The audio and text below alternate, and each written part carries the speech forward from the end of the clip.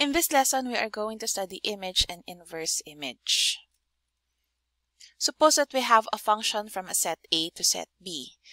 If S is a subset of A, we define the image of S under F to be this set. It is denoted by F of capital S. This contains elements of the form f of small s for some small s in S. And take note that f of capital S is a subset of B. How do we interpret this? S is a subset of A. So this is my S. And then if we get all the images of this set S, so take note that it's possible that that set is smaller in a sense because it's possible that our function is many to one, correct? So let's say this one, f of capital S. And if I get an element small s in there, its image f of small s will be inside f of capital S. Now from our definition here, take note this is important. When do we say that an element in B is an element of f of capital S? Because f of S, take note, is a subset of B. When do we say that something is in f of capital S? So from this definition, I will write it here. B is an element of f of capital S whenever we can write B as f of small s for some small s capital of element of capital S. So, for example, our set A is a set containing 1, 2, 3, 4, B is a set containing 5, 6, 7, 8, and F is represented as the set of ordered pairs. What is the set F of 1, 2? So take note from definition that when we are getting this image set, we are just getting the images, we are just getting the images of all the elements here. So therefore, this is just the set. We will just get the image of f of 1 and f of 2, correct? And the image of 1 is 6 and the image of 2 is 5. What about f of 1, 3. So again, this is just f of 1, which is 6, and set containing f of 3. So this is 6, 8. So as a set of ordered pairs, when you are getting the image of a set, you are just getting the second coordinates of the elements here, where this will be the first coordinates. Now, suppose that our function f is from the set R to set R defined by this linear function f of x equals 2x plus 1. What is the image of the set 0, 1? So, let's try to imagine what's going on. If we graph this, that is just a line with y-intercept at 1 and slope of 2. So therefore, it's okay. If we look at this graph, what will be the images of this interval 0, 1? So this part over here, what is the image of this set? It's going to be this one, correct? So it's 1, 3. But of course, we have to, we got that from our diagram. But what if we want to determine what that is just by solving? So in order to do that, remember that this set f of 0, 1 by definition, this set contains everything of the form f of x where x is an element of 0, 1. Correct? That is the definition of f of 0, 1. Now, if we look at this one, if x is an element of 0, 1, what can we now say about f of x? Our f of x is 2x plus 1. So, therefore, we get that 2x is between 0 and 2 and therefore 2x plus 1 is between 1 and 3. So therefore we have here that your f of x is going to be an element of 0, 3. We will say that f of 0, 1 is the set 1, 3. This is how we computed it and this is how we visualize it using its graph. But of course, let us really prove that the image set of 0, 1 under the function f is the set 1, 3. So first, let us show that f of 0, 1 is a subset of 1, 3. So we start by getting an arbitrary element in here. So let's call that b. And we want to show in the end that it is an element of 1, 3. The fact that b is an element of f of 0, 1, it means that b can be written as f of something where this something here is an element of 0, 1. So hence, there exists an A in 0, 1 such that B is equal to f of A. But our f of A is equal to 2A plus 1. And then, since A is an element of 0, 1, 2a plus 1 is an element of 1, 3. Again, I will no longer write it, but of course, the proof is because, just like what we had earlier, a is between 0 and 1. Our 2a will now be between 0 and 2, which would imply that 2a plus 1 is between 3 and 0. So basically, this is the scratch that we had earlier. Okay, so we have now shown that this 2a plus 1, which is our b, is an element of 1, 3. So hence, b is an element of 1, 3. And then conversely, suppose that b is an element of 1, 3. We want to show that B is an element of f of 0, 1. That is, we want to write B as the image of something in 0, 1. We want to show that B is equal to f of A for some A in 0, 1. So therefore b is equal to 2a plus 1 and therefore our a is equal to b minus 1 all over 2. But you still have to show that this a here is an element of 0, 1. Why is it true that a is an element of 0, 1? Because b is an element of 1, 3. Alright, so I will just say take a to be equal to b minus 1 all over 2. So since b is between 1 and 3, the some algebraic manipulations will show that b minus 1 all over 2 is between 0 and 1. We still have to show that f of a is equal to b my f of a, which is equal to f of b minus 1 all over 2 is equal to 2 times b minus 1 all over 2 plus 1 and this is really equal to b. So thus we have shown that b is the image of some element in 0, 1. So thus b is an element of f of 0, 1. That is the formal proof. Next, we will now define the pre-image. So again, we have a function f from a to b and this time around t is a subset of your codomain. We define the pre-image of this set to be this set.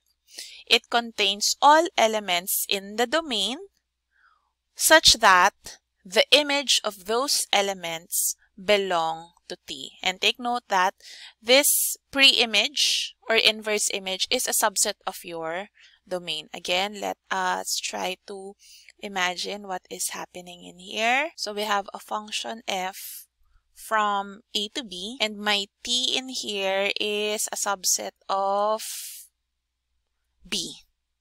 So this is my t. When we want f inverse of t, we are getting a subset in the domain. So something like this. And we want this set to have the property that the images of all these sets, when you map it under F, so the image of this under F will be equal to T. So this is my set F inverse T. So when I get the image of this set under the function F, the elements are all in T. So I drew it in such a way that the pre-image is bigger than this one because again, our function f can be a many to one function. So it's possible to have two elements in here to go to the same element in this one. Let me just give a definition of what it means for an element in the domain to be in F inverse T. Using the definition, what can we say? A is an element of the pre-image of T if and only if what is this saying? You belong in the set if and only if the image of this set belongs to T. So it's like sort of you're getting F of this, sort of like that. But again, that is not what's really happening, but I just want you to remember this. A is an element of the pre-image if and only if its image belongs to the set T. So let us consider this example. Suppose this is the set F. What is now pre-image of 6, 7? So take note that I am looking at the second coordinates and the pre-images of 6 and 7 are 2 and 3. Again, why is that? What does it mean for something to be in F inverse 6, 7? It means that when you get the images of those sets, it will be an element of 6, 7. So that's the reason why I have 6 and 7. Oops, I also have 6 and 7 here. I missed that. So therefore, what are the elements whose images are 6 and 7? So it's 2, 3, 1, and 4 or the set containing 1, 2, 3, and 4. So as a set of ordered pairs, when we want to get the pre-image, all you have to do is to look at the second coordinates. Those second coordinates should belong in the set. And then just list down all the first coordinates. What about F inverse of the set containing 8? There is no 8 appearing as a second coordinate, so therefore this is just the null set. What about 9? What is this one? 9 appears here and the only element in F with second coordinate 9 is 5, 9 and therefore the first coordinate is 5. What about 7, 8, 9? So we have 7, 7, there's no 8, and then there's 9. So the set of first coordinates are 1, 3, and 5.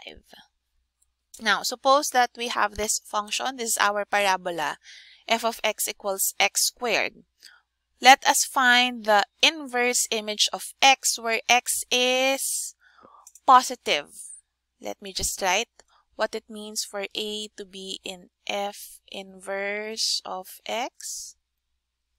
By definition, this means that f of A is an element of the set containing X only. In other words, f of A is equal to X, but our f of A is A squared. So therefore, what is our A? Remember, we are on the case x is greater than 0. So therefore, a is equal to plus or minus square root of x. Those are the two pre-images of x. So this is square root of x and negative square root of x if x is greater than 0. What about if x is less than 0? What will it be?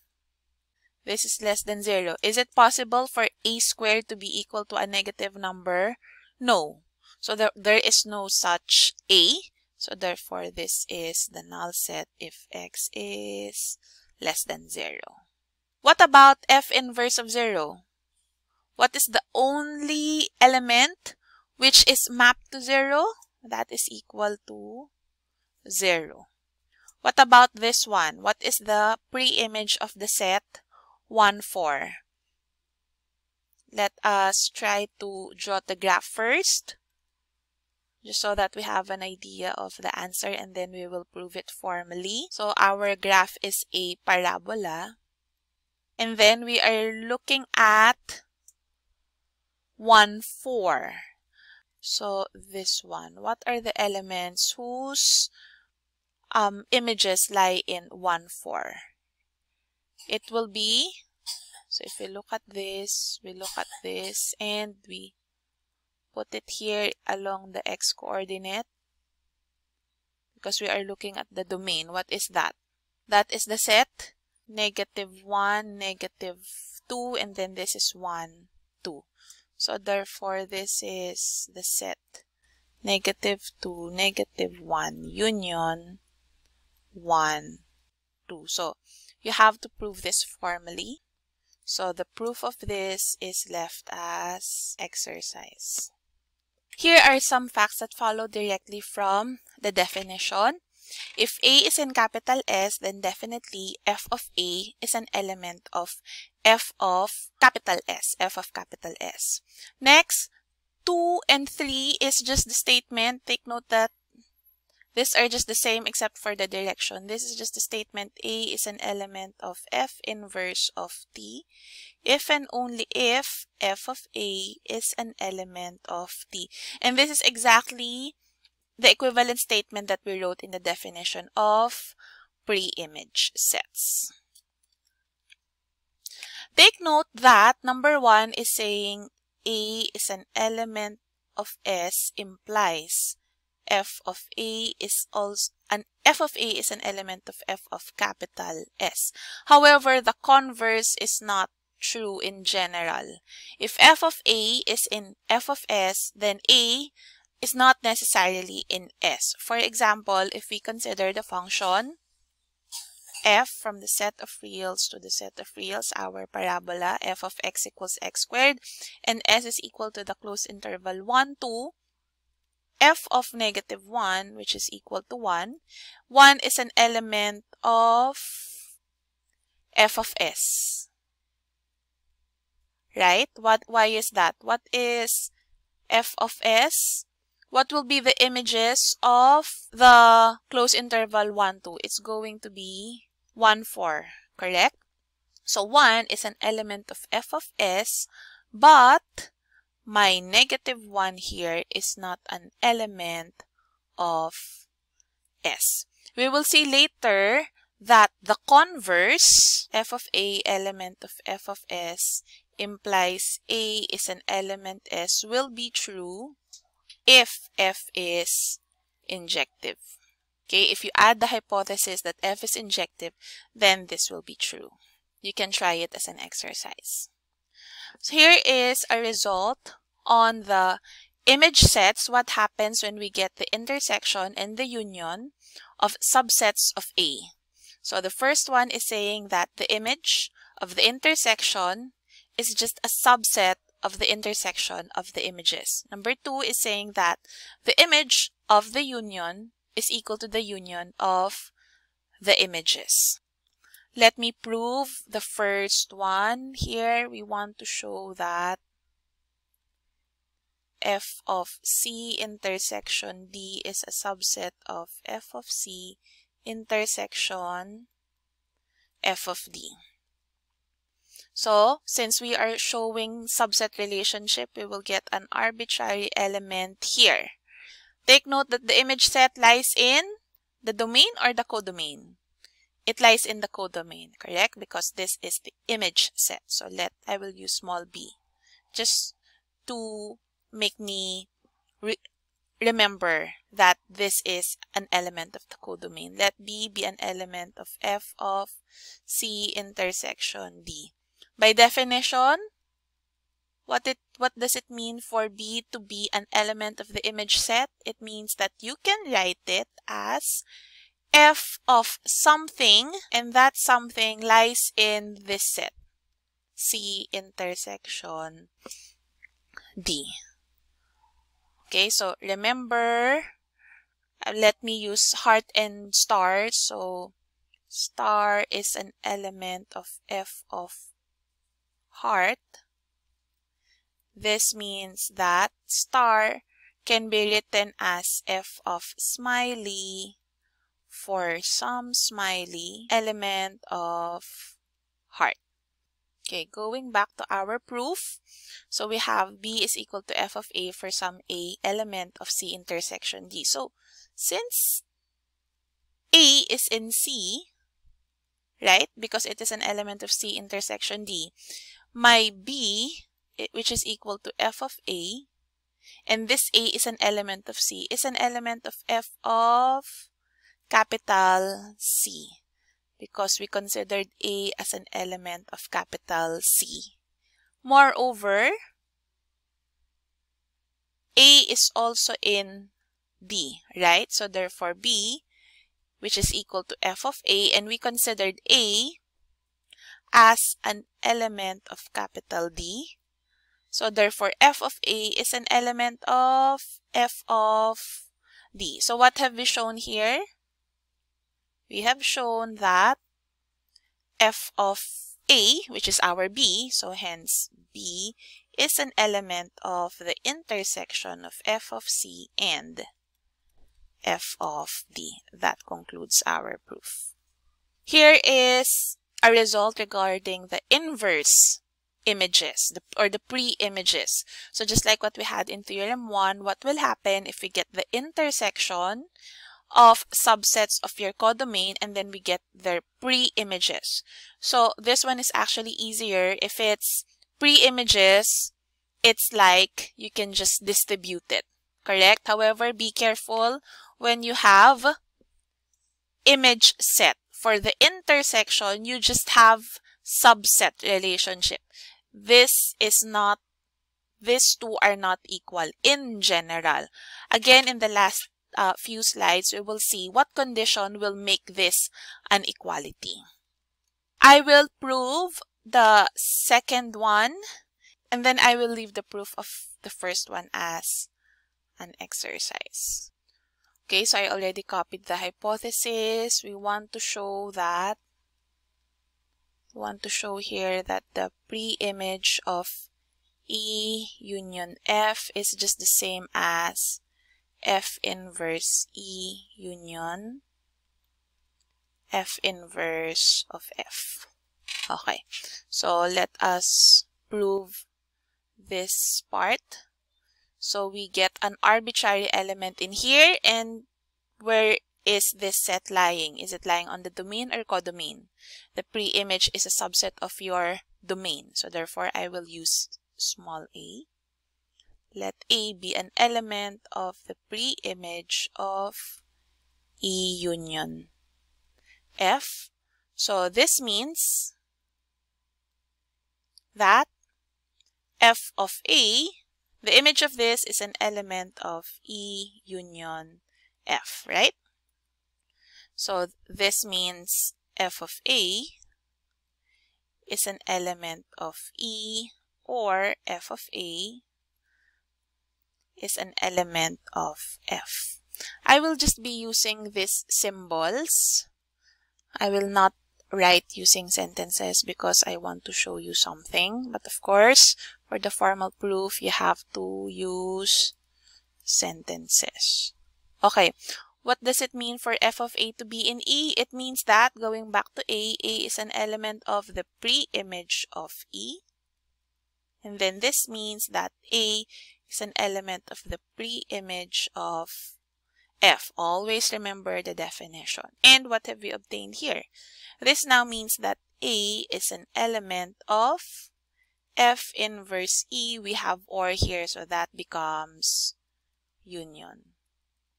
And we have just shown that this is a subset of this. So conversely, if we are starting with let A be an element of F inverse E, union F inverse F, what will happen? We will just go the other way around. So from here, that you get this, and then you get this, and then you get this. Correct? So that is why, do you already see why it is true that when we are showing equality, it is also the same as showing that this statement is true. E union F if and only if A is an element of F inverse E union F inverse of F. Okay, that is exactly what we did here. Okay, next. What will happen when we get the image of the pre-image? So take note that these are not equal. So you can not just sort of cancel. That's, that does not happen. It will be a subset. What about if you have the pre-image of the image? This set will be smaller than this one. I want you to imagine, why is it true that something is bigger? How come they are not always equal? Again, it's because of the fact that f can be a many-to-one function. They, it's, it is not always one-to-one, -one, right? So let me just draw possibilities just so that you know which one would be bigger. Okay, so suppose here, let's look at the first one. I have a subset D of B. This is my A, this is my B, and this is my function F. And then for a subset D of B, this is my B. First, I will get the pre-image. What can you say about the pre-image? It's going to be bigger or smaller than D? It's going to be at least bigger, correct? Because our function f, it's possible for it to be many to one. Alright, so let's suppose that this is my pre-image f inverse of D. Now, when I get the image of this, when I get the image of this, it's saying that when I get the image of this set, it's going to be smaller than D. This is my f of f inverse of D.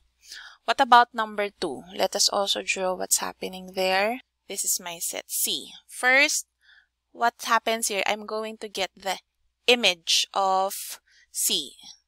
So if I'm going to get the image of C, it will be a bit smaller than C. Something like that. There you go. Then here I'm going to use arrows to indicate that I'm getting the image. So this is my f of C. Now, for this f of C, I'm going to get now the pre-image. Pre-image would be bigger. Anyway, it will contain the entire C. So this one here is pre-image of f of C. Let us now prove that. Let us prove the first one. So we have let f from A to B be a function and suppose that D is a subset of B. Let me write down what we want to show. We want to show f of f inverse of D is a subset of D. So we start by getting an arbitrary element here and this one lies on the set B because this is the image set. So let B be an element of f of f inverse of D. Now, by definition, what, it, what does it mean if you belong in the image set? So it means that we can write B as the image of something, let's call that A, and that A lies here. For some A in F inverse of D. But what does it mean for A to be an element of the pre-image of D? So since A is an element of the pre-image of D, it means that f of A, correct, when you get the image of this, this is an element of D. But what is our f of A again? That is our B. So thus, my B, which is equal to f of A, is now an element of D. So we started here and we ended here that B is an element of D. So that proves number two. Next, we want to show, what do we want to show there? So we are starting with a subset of C, I mean of A. Suppose C is a subset of A. We need to show that C is a subset of F inverse of F of C. So just like what we did with number one, we will get let C be in capital C. So take note here that the image of small c, this is an element of f of capital C. Now I want you to recall this. What does it mean if f of, let's say, star is an element of heart? This means that star belongs in the pre-image of heart. Correct? That is de the definition of pre-images, right? So I used star and heart so that even if it is different, you have CD, you will not be confused. So again, it's like you're getting inverse of both sets.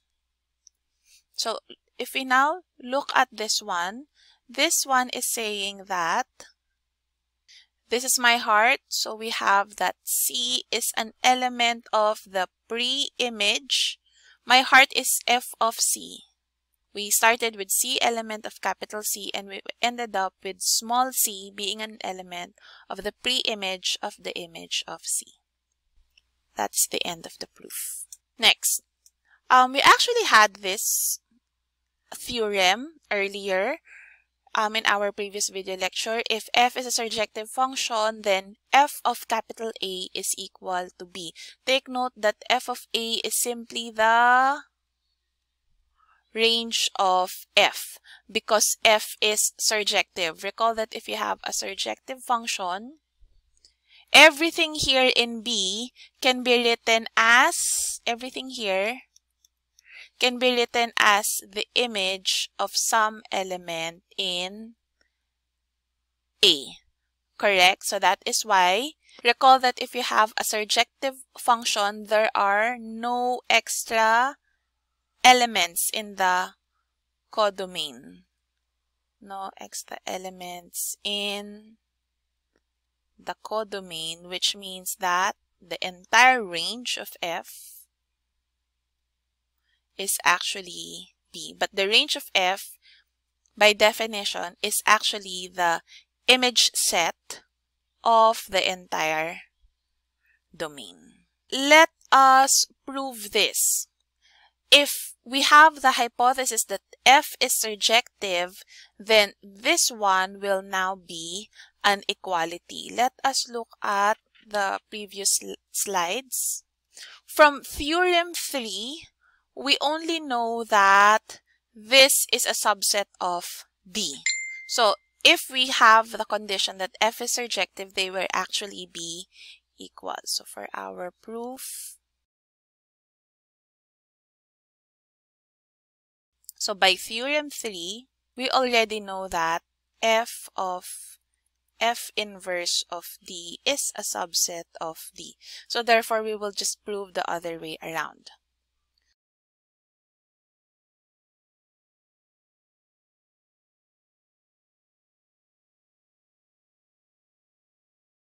For we start by getting an arbitrary element of D. We want to show that it belongs in this set. Now, what is the use of f being a surjective function? Take note that D is a subset of B. Since f is surjective, all the elements here in D can be written as the image of some element in A. Correct? Because there are no extra elements. Everything here can always be written as the image of something in A. Since f is surjective, we can write D as f of A for some A in capital A. What does it mean about A? It means that A is an element of the inverse image of capital D, correct? Because f of A is an element of something in capital D. Again, it might be confusing for you. We have here f of a that came from f of a which is equal to d but this d here is an element of capital D. So let me just write it. f of a is an element of d by definition. This means a is an element of the pre-image of d. So that's why I have that here. Okay, why do I want that? a is an element of the pre-image of d. Using this one class in slide 9 of part 1, if something in an e is in S, when you get the image of that, it will belong to the image set of this set. So this is slide 9. So by slide 9, part 1, my f of a is an element of f of f inverse of d. But what is my f of a again? That is just equal to d. What have we shown here? d, I started with d in capital D. I ended up with d being an element of this set. So that concludes the proof. Next, this relationship here will be an equality relationship if f is injective.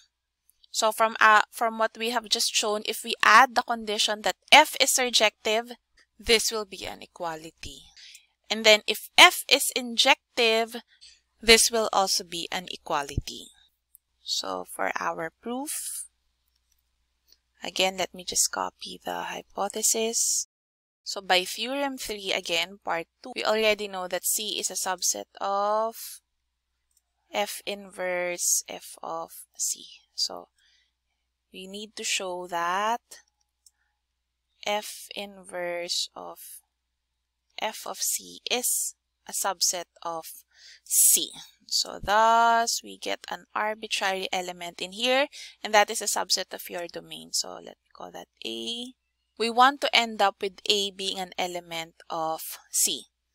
What does this mean? I want to remove this F inverse notation here. So I will put it on the other side sort of thing, right? So this would mean that f of a is an element of f of capital C.